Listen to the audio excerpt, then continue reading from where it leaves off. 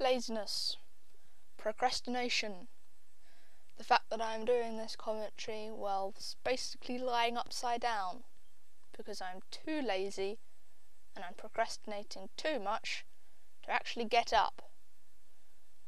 It's on a very uncomfortable chair as well because I don't lie down on my bed during the day. There's a whole other backstory to that that uh, will be a lot better in your imaginations than it would do if I actually told it to you in reality. And it's a wooden chair. I had to actually buy a cushion for it about a, two months ago or so because it fucking hurts to sit on it for the length of time that I do. Making videos, editing, watching YouTube videos, etc., etc. Buy a nice office chair, ladies and gentlemen, because if you don't, your ass will hurt. Spoken from experience. But I've been sitting here thinking, like, for 10 minutes beforehand, what the fuck do I talk about? Because I need to talk about something. Because I haven't done the Road Commander recording yet. I just, I've been worrying about some blob shots, and damn you! I've been worrying about some personal stuff, and it turns out that the personal stuff isn't only fine, it's non existent. So, you don't have to worry about that at all. I don't have to, and I've. Fuck. And if you just don't want to mention the RPG, I do that so much. Their sights have got to be off on that fucking gun. But I discovered that I really am my grandmother's granddaughter. She worries about everything. Every little thing. The thing that I was worrying about was just so unlikely to happen that it was 99% impossible. And I still worried about it and then I got proof that it's not a real problem. And then I'm worrying about the proof being wrong.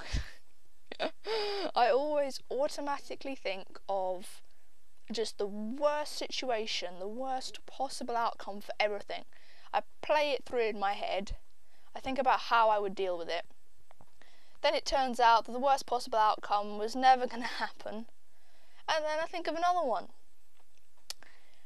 because that's just who I am. I am a worrier. and Last Stand is annoying, and the fact that I can't throw stuns is also annoying. And this is how old this gameplay is.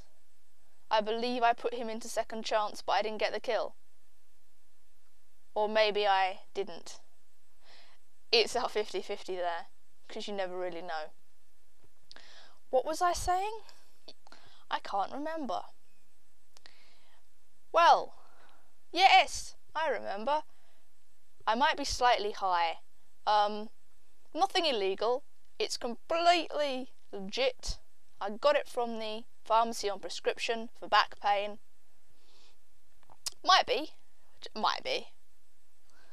Uh, probably the first time any one of you new guys from Mikey's channel has seen me drunk or high.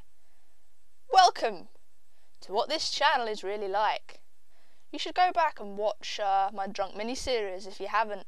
Big fucking hell! I have a threesome with someone during that.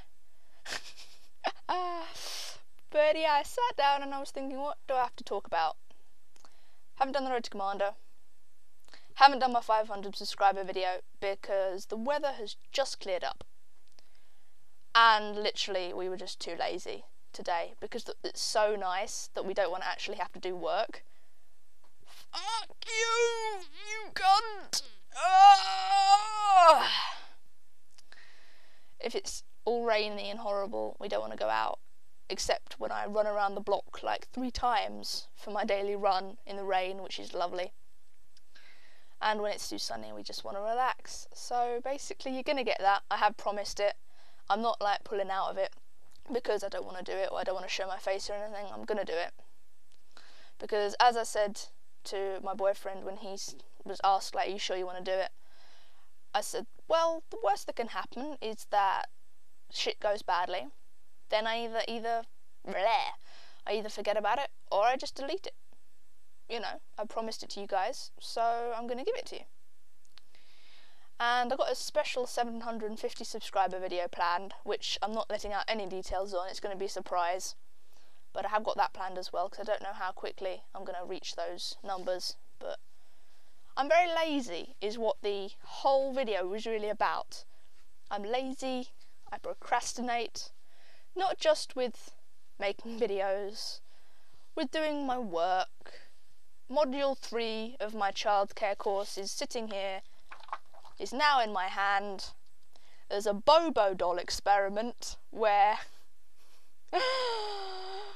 there's a blow up doll and they filmed different they adults um let's start that sentence again there's a blow up doll and they filmed kids watching the adults do different things to the doll now i'm sorry but that is just a sexual reference waiting to happen i haven't actually finished reading that bit yet and of course i know it's not about sex it's about the guy actually beating up the doll which i don't think that's any better to be perfectly honest i mean impressionable young children, you don't want to beat up dolls in front of them.